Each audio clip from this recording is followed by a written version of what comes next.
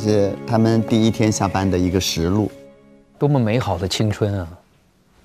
你会发现，所有的这种疲惫也好，这种一天过后如释重负的感觉也好，然后不管你是有妈妈在等着，还是自己一个小屋也好，挤地铁也好，打车也好，下着雨的上海，一个几千万人口的大城市，八个年轻人在人流当中，彼此谁也看不见谁，但是能能看见自己，能看见明天的路，多好，那种感受。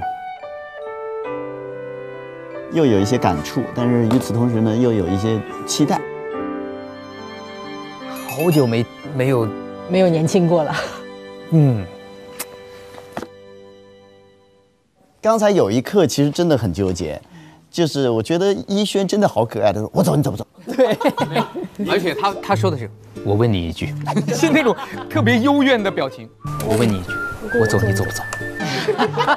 真的，在老板都没走之前，提前离开那个办公室，真的需要很大的勇气，压力会很大的，对，很恐怖。尤其是还有，如果这八个一起走就还好，当还有人在加班的时候，当时我还记得我在法院实习的时候，你想那是九九七年，他这个下班的时间是非常固定，因为你要坐班车，班车是不等人的，对，你你不可能是。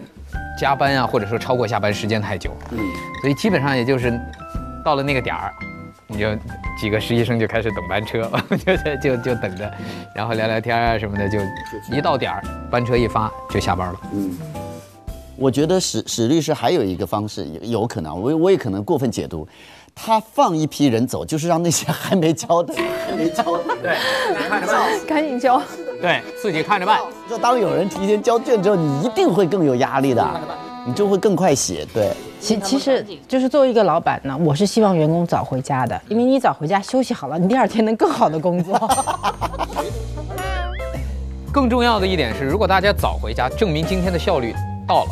如果一堆人全在加班，那今天大家都在干什么呀？除非真的是特别重大的项目或者是重要的任务之前，否则如果日常工作天天加班，对于老板来讲很闹心的一个事儿。加班这个事情的节点应该是你的工作完成没有，而不是谁走没有走，要不然那样都是彼此的互相消耗，其实是对，就没必要。然后虽然我们不主张加班，但是像这个小敬敬业的，他真的很敬业，他真的是他真的很敬业，他最后坚持留下来写到九点多，就是要。他要完成一个对自己的一个交代。交代，我我是很喜欢他这个工作态度的。我既完成老板的要求，按时间，但我如果自己不满意，我还是会去争取做得更好。